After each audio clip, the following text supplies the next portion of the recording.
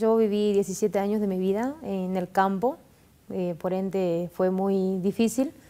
Pero bueno, después a los 17 años me vine a vivir a la provincia de Buenos Aires con mi mamá y bueno, trabajé en el servicio doméstico porque bueno, obviamente no, no tenía estudios terminados, entonces era difícil como aspirar a, a trabajar en algo mejor.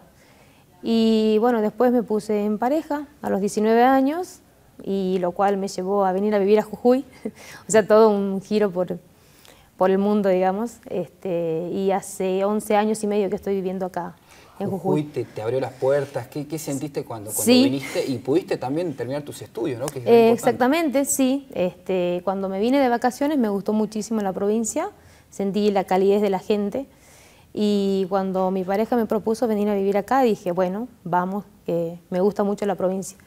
Y en el 2019 empecé la, la secundaria y lo terminé en el 2022. Así que eh, estoy ahora a la espera de la oportunidad para hacer la carrera universitaria también. La provincia te abrió las puertas, como dijimos en un principio, y vos decidiste eh, agradecer todo eso a través de la acción solidaria. ¿Cómo fue Exactamente. Eh, sí, creo que uno tiene que dar las gracias eh, a una provincia que me abrió las puertas, como decís vos. Estoy con trabajo, gracias a Dios. Y bueno, a raíz también de lo que uno vivió de chico, capaz, este, me llevó a, eso, ¿no? a llegar a estas personas que hoy en día están eh, en una movida solidaria, en un grupo que se llama Almas Solidarias, y en donde le damos de comer a 20 personas aproximadamente los días sábados pero a mí me llevó, digamos, a hacer esto eh, a raíz de lo que eh, pasé todo de niña, porque sé, digamos, lo que se siente del otro lado. ¿Pasaste hambre de niña? Eh, no sé si hambre, pero sí teníamos escasos recursos a nivel lo que es este, de ropa, calzados. hubo épocas en que íbamos descalzo a la escuela, o sea, era muy difícil la situación porque éramos varios hermanos también.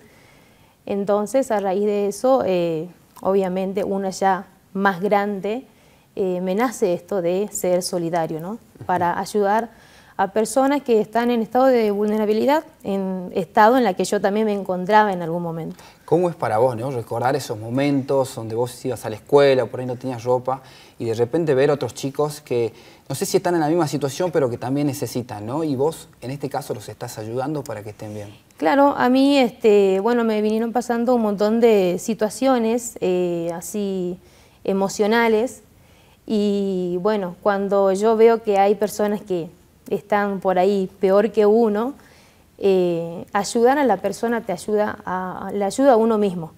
Entonces esto me llevó a eh, querer entrar en esta movida solidaria para poder ayudar a aquellos chicos que en sí me recuerda a mi, mi infancia, digamos, porque también estuve de ese lado, sé lo que se siente, y entonces dije, bueno, vamos que por acá es el camino.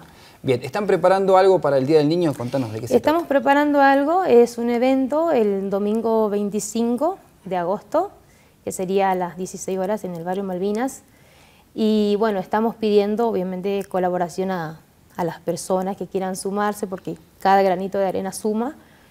Eh, queremos hacerle regalos a los chicos, eh, la idea es este, traer payasos, peloteros, darle chocolatada, y este, bueno, estamos haciendo así como promociones en, las redes sociales para, eh, para que la gente se sume y pueda ayudarnos con esta movida para poder cumplir el deseo o el sueño a, los chicos que están dentro de estas familias que damos de comer los días sábados. Y qué tan importante hacerlo para el Día de, la Niñez, ¿no? De la niñez, claro.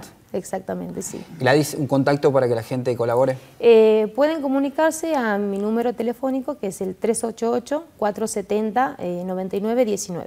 Eh, Bien, por último te quiero pedir una reflexión, ¿no? De acuerdo a, tu experiencia, cómo transformaste todo ese dolor en solidaridad y decidís que optás para poder eh, ayudar a aquellos que la están pasando mal.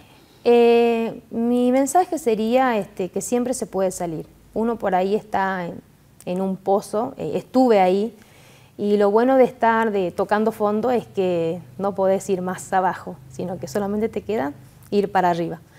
Entonces, este, a las personas que se están sintiendo mal o la están pasando mal, este, confíen, porque siempre se puede salir, siempre, siempre llega ángeles terrenales o personas que te ayudan. Y en este caso eh, me pasó a mí eso, de que conocí personas increíbles que me están ayudando en un proceso muy difícil para mí y este, una de las maneras que yo decidí ayudarme a mí misma es justamente de eh, apuntar a lo solidario, porque aunque por ahí las personas no lo crean, eh, ayudar a otras personas te ayuda a vos, a vos mismo. Es como una caricia al alma.